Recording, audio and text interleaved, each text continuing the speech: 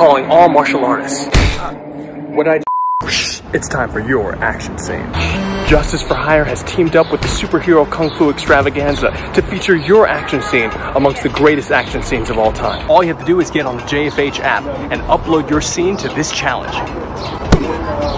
It can be anything martial arts related. It can show you in battle, Training. Or how you use martial arts in everyday life. Any way that martial arts is special to you. I don't have friends. I got family.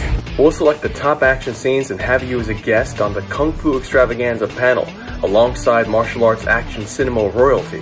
Hosted by Ric Meyers, the world's foremost martial arts movie historian. Remember, always be safe in anything that you're making. Never actually hit each other for real because that's completely unnecessary. Always let people know that you're filming before you start recording.